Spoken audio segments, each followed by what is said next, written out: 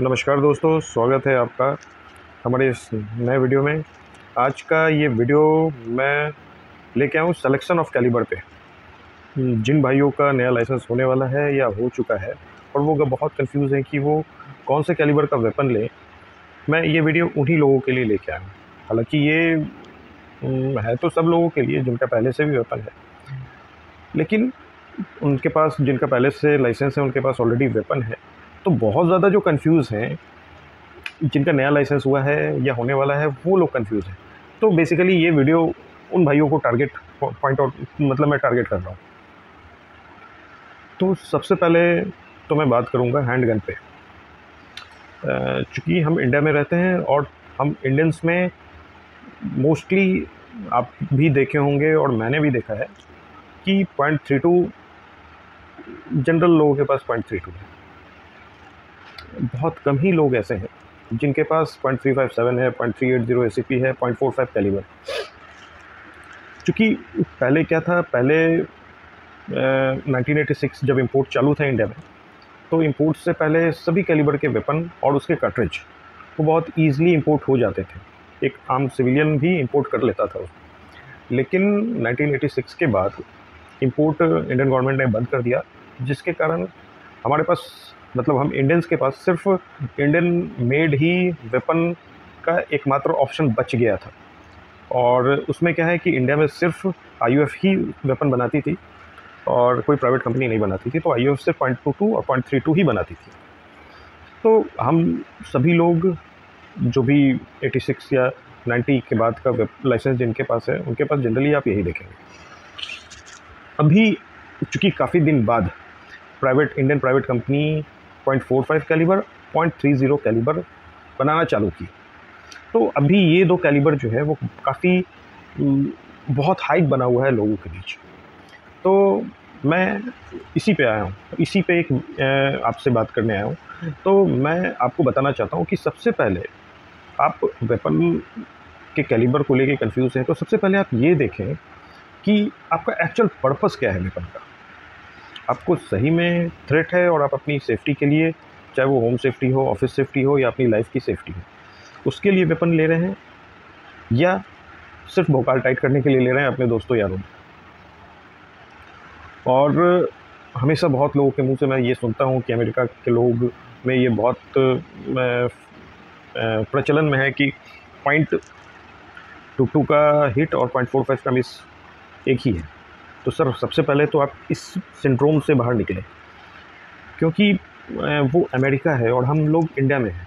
America में weapon जो है, आप जैसे इंडिया में गाड़ी खरीदते हैं जैसे अमेरिका में आप वेपन खरीद सकते हैं। वहाँ कोई गन का लॉ नहीं है मतलब कोई लाइसेंस रिक्वायर्ड नहीं है वेपन के लिए। लेकिन हम इंडिया में हैं और इंडिया में बहुत स्ट्रिक्ट लॉ है वेपन को लेके। आपका चप्पल घिस जाता है लाइसेंस लेने में। एक वेपन के लाइसेंस के लिए आपका चप्पल घिस जाता है। मतलब अगर मैं ये कहूँ कि जितना मशक्क़त इंसान एक लाइसेंस लेने में करता है, उतना मशक्क़त अगर भगवान को खोजने में करे तो इनफैक्ट भगवान मिल जाए लाइसेंस नहीं मिलता। तो खैर, इस विषय पर बाद में आते हैं। मैं ये वक्त कर रहा हूँ कि आप सबसे पहले ये देखिए, अगर सही में आपका पर्पज़ जो है, अपनी सेफ्टी है तो सर मेरे पास भी पॉइंट थ्री टू वेपन है और मैं, मुझे लगता है कि मैं थ्री टू को रिप्लेस करके या उसको सेल आउट करके पॉइंट टू टू ले लूँ। क्योंकि थ्री टू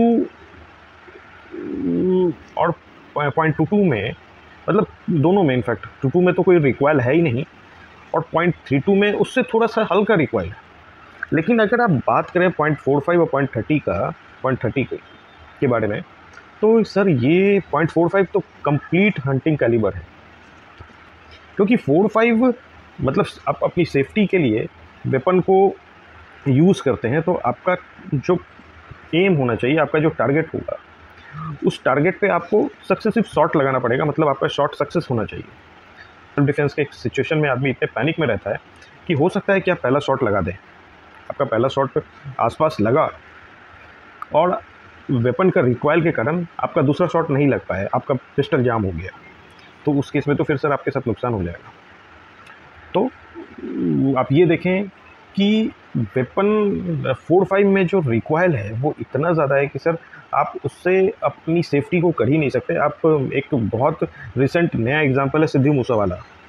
सिद्धू मूसेवाला के पास पॉइंट फोर फाइव कैलीवर का पिस्टल था। जब उनके ऊपर हमला हुआ तो उस हमले के अगेंस्ट में उन्होंने भी अपने पिस्टल से फायर किया। लेकिन पहला शॉट उनका चला और दूसरा शॉट जो है, फिर वो सारा, दूसरा शॉट उनके चैम्बर में अटक गया। मतलब उनके बैरल में अटक गया। अगर सिद्धू मूसेवाला के पास पॉइंट फोर फाइव की जगह पे कोई दूसरा कैलिबर उस पॉइंट थ्री टू कैलिबर होता तो हो सकता है कि सिद्धू मूसेवाला के साथ जो हुआ वो नहीं होता। तो मैं वही बात कर रहा हूँ कि आप अपने वेपन की सेफ्टी के लिए, आप अपनी सेफ्टी के लिए वेपन ले रहे हैं तो भोकाल टाइट करने के लिए आप ले रहे हैं तो आप कुछ भी ले लीजिए। लेकिन अगर आपको सही में अपनी सेफ्टी चाहिए तो आप पॉइंट टू टू भी ले सकते हैं, क्योंकि दुनिया में जितनी भी हत्याएँ हुई हैं वो सबसे ज़्यादा पॉइंट टू टू से हुई। तो पॉइंट टू टू कैसे ख़राब है? पॉइंट टू टू से आप कैसे अपने, अपनी सेफ्टी नहीं कर सकते?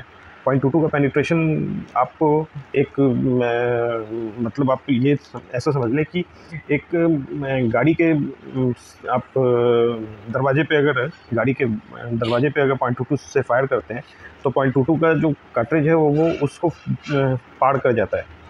तो पॉइंट टू का गोली पॉइंट टू का कार्ट्रेज जो है वो बहुत ये नहीं है मतलब बहुत कमज़ोर नहीं है, आप उसको कमज़ोर मत समझिए। हाँ तो आप ये देखें कि अगर आपका सही में मतलब ये मैं ऐसा कहना चाह रहा हूँ आप लोग को, या मैं ये बताता, बताना चाह रहा हूँ कि अगर आपका सही में मकसद अपना सेल्फ डिफेंस है तो you must go for point two two और पॉइंट थ्री टू कैलिबर अगर आपको भोकाल टाइट करना है तो आप फोर फाइव लीजिए पॉइंट थ्री ज़ीरो लीजिए, कोई दिक्कत नहीं। और चूँकि एक चीज़ आपको ये भी है कि सर, आप एक पहला वेपन लेते हैं तो आदमी के मन में ये उत्सुकता रहती है कि मैं फायर भी करूँ। पॉइंट टू टू का एक कटरेज पचास रुपये मिल जाएगा। पॉइंट थ्री टू का बात करें तो एक सौ तीस चालीस में मिलेगा इंडियन और पॉइंट फोर फाइव का बात करें तो आपको चार सौ पाँच सौ में मिलेगा। अब दस गोली छोड़ेंगे, आपका पाँच हज़ार रुपया खर्च होगा। तो ये सारी बातें हैं। अब बात करें राइफ़ल पे। तो राइफ़ल सर शहर के लिए नहीं राइफ़ल क्लोज़ क्वार्टर डिफेंस के लिए नहीं राइफ़ल का यूज़ जो है, वो वैसी जगह के लिए है, जैसे मान लीजिए कि आप गाँव में है, सौ डेढ़ सौ मीटर पे आपको फाइट करना है, तब राइफ़ल का एक्चुअल यूज़ है। तो ये आज का हमारा टॉपिक था, आशा करता हूँ कि आपको क्लियर हो चुका होगा कि वेपन सिलेक्शन के लिए कौन सा कैलिबर बेस्ट हो। धन्यवाद। प्लीज़ लाइक शेयर और सब्सक्राइब करना ना भूलें। Thank you